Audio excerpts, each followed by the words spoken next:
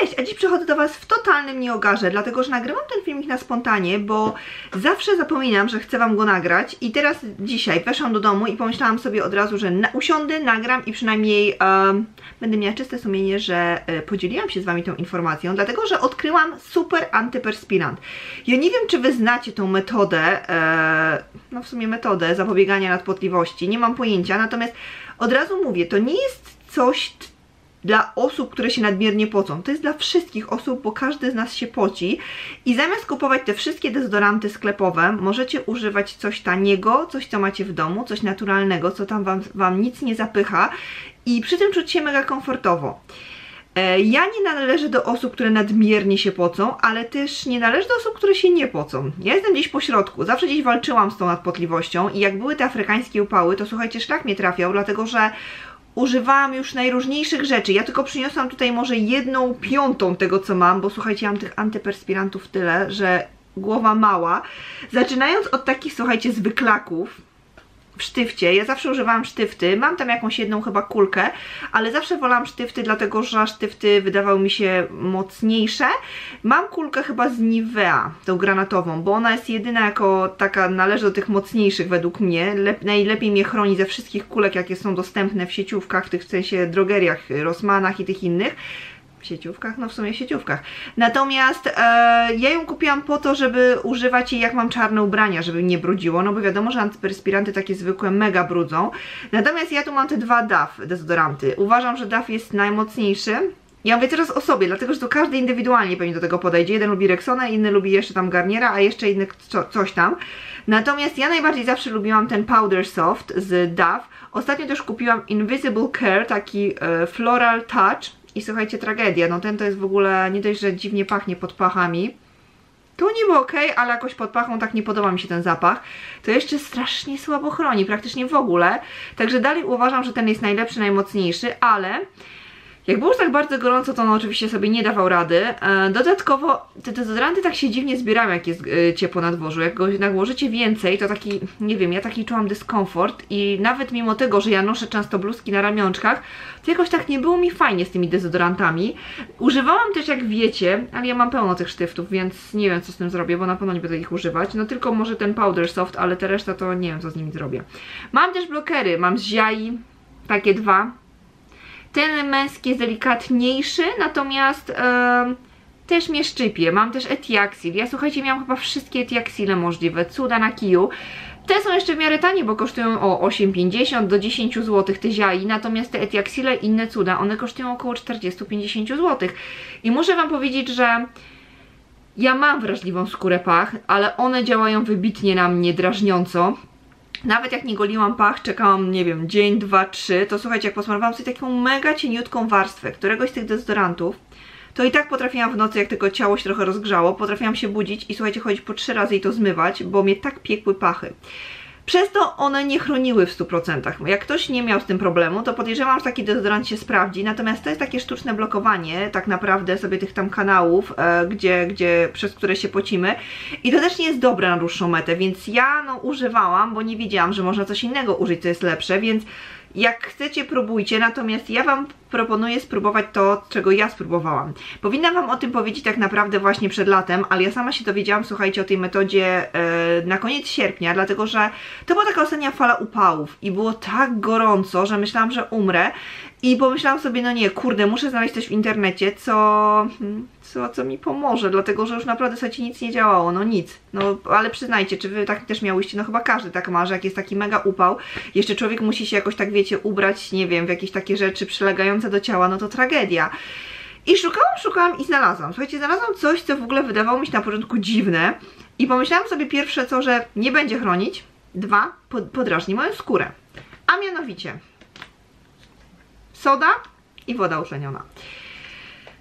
Byłam nastawiona do tego bardzo, tak wiecie, nie żeby nie powiedzieć negatywnie, ale tak zastanawiałam się długo, czy powinnam wyjść z domu z taką mieszanką pod pachą, dlatego że bałam się, że może się to źle skończyć, dlatego że Ja mam z naturalnymi rzeczami tak różnie. Często kosmetyki naturalne się mi nie sprawdzają, więc pomyślałam sobie, dlaczego to by miało się sprawdzić. Ale wiecie co, to jest genialne. O Jezus, jakie to jest genialne.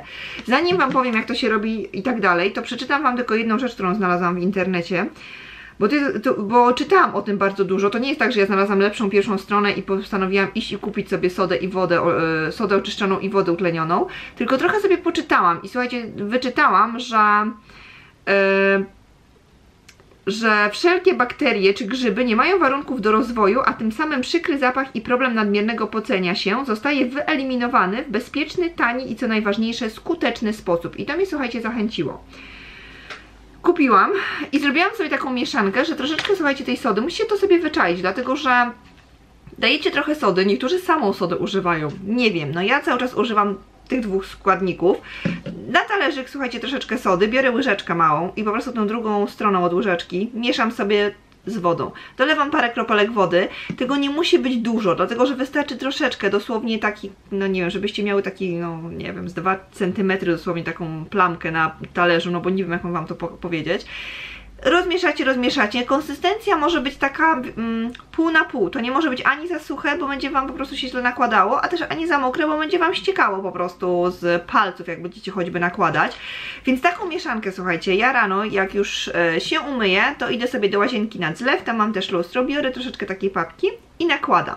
Tylko pamiętajcie, że to będzie miało konsystencję troszeczkę takiego peelingu, dlatego że soda taka jest i... Um, może Was to podrażnić. Wiem, że będziecie, jak poczytacie sobie w internecie, zobaczycie, że tam praktycznie wszędzie jest napisane, że to nie podrażnia. No mnie podrażniło, ale to też zaraz Wam powiem, co wtedy trzeba zrobić. Natomiast bierzecie troszeczkę sobie takiej papki na, troszeczkę, no troszeczkę, na dwa palce dosłownie, smarujecie, tylko właśnie nie smarujcie całej pachy i tu ręki, dlatego że ta skóra jest bardzo delikatna. Smarujcie tylko tam, gdzie Wam włosy, gdzie Was, gdzie Was, gdzie Wam włosy rosną.